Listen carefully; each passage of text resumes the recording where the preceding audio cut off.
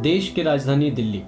वर्तमान समय में अनेक राज्यों के प्रवासी मजदूरों का दूसरा घर बन गई है। रोजी रोटी की तलाश में यहाँ आने वाले हज़ारों लाखों मजदूर यहीं के होकर रह जाते हैं। वे झुग्गी बस्तियों में अपनी गुजर बसर करने को मजबूर हैं। दिल्ली के जसोला और जैतपुर इलाकों में ऐसी अनेक बस्तियाँ हैं। इनमें बसने वाले बच्चों को शिक्षा के प्रति जागरूक करने का बीड़ा उठाया है दे ओरिजिन संगठन ने। दिल्ली के जसोला मेट्रो स्टेशन के पास ही एक ऐसी बस्ती है, जहाँ दी ओरिजिन के कार्यकर्ता बस्ती के बच्चों को पढ़ाने लिखाने का काम करते हैं। मेरा नाम शारिक नदीम है और मैं 2007 में दिल्ली आया। और मैंने 2009 में जाके ओरिजिन स्टार्ट किया था। मैं और मेरा एक फ्रेंड अमनदीप सिंह राहिल, उसने, हम दोनों दोस्तों ने ग्रेजुएशन लेवल ग्रेजुएशन में जब हम लोग थे, तब हम लोगों ने शुरुआत की ओरिजिन की।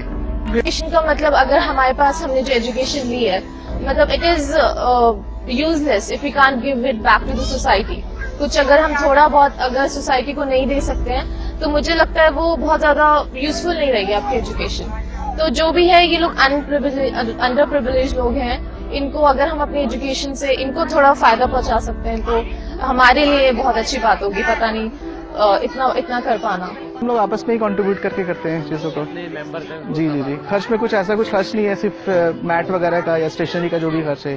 तो किसी को अपनी जेब से सौ पाँच सौ या दो सौ जो भी है वो देने में कोई ज़्यादा वो नहीं लगता है। ऑब्वियसली दिल्ली आए थे तो हम लोग को घूमने का शौक भी था। तो हम लोग जगह जगह घुमा करते थे कुछ रैक पिकर्स भी हम लोग को दिखते थे। हम लोग सोचते थे कि आखिर ये बच्चे पढ़ते क्यों नहीं है? तो घूमते घूमते फिर हम लोगों ने देखा यमुना वगैरह का जो एरिया था जो धोबी घाट का जो एरिया वहाँ पे हम लोगों ने शुरुआत की।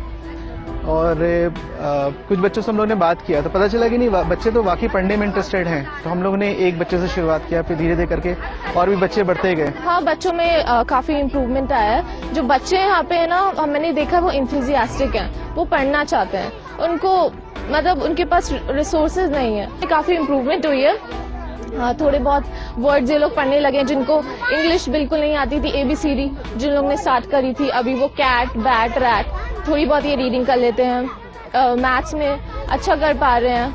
एडिशन सब्ट्रैक्शन तो which is quite an improvement I think Jasola centre से निकलकर हम पहुँचे जैतपुर में। और वहाँ भी हमने कुछ ऐसा ही नज़ारा देखा।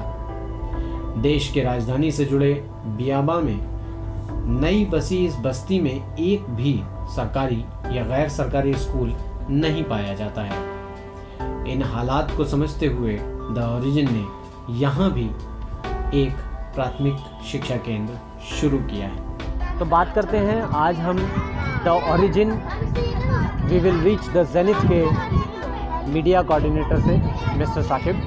साकिब साहब, ये बताइए कि आप यहाँ कब से काम कर रहे हैं? हमारा संगठन तभी से एक्टिव हो गया था जब से हमने फाउंडेशन इसकी डाली थी, शुरुआत की थी 2010 से।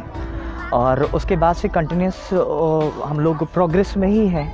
और अभी थोड़ी सी देर पहले आपने इंट्रोडक्शन जब देना शुरू किया था तो आपने ये बोला था कि तकरीबन 50 बच्चों से शुरुआत की। नहीं, हमने ये कही कि ज़ीरो लेवल से शुरुआत की। ठीक है? और काफ़ी मेहनत के बाद ये बच्चे हम तक पहुँचे हैं।